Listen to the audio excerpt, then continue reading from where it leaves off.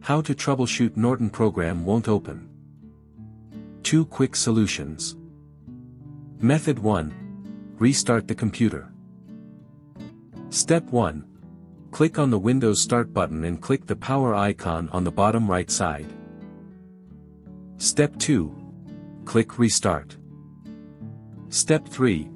Wait for the system to turn back on. Method 2. Download and run Norton Remove and Reinstall tool.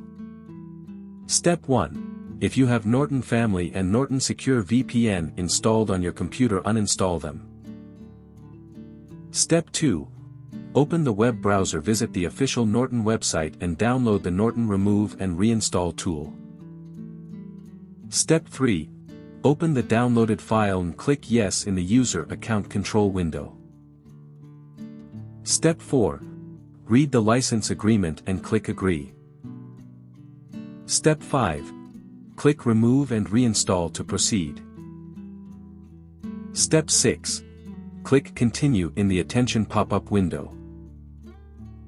Step 7. The tool will begin downloading. Step 8.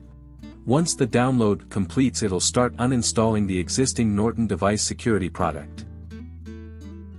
Step 9. To complete the uninstallation process click Restart Now. Step 10. After restarting click Yes in the User Account Control window. Step 11 the Norton device security product will open automatically click Install. Step 12. When prompted sign in using your username and password. Step 13. Select one of the available licenses and click Next. Step 14. Wait for it to activate. For more such help and information, visit us at www.antivirustales.com or call us at plus 1 857 557 6826 plus 44 161 791 4591.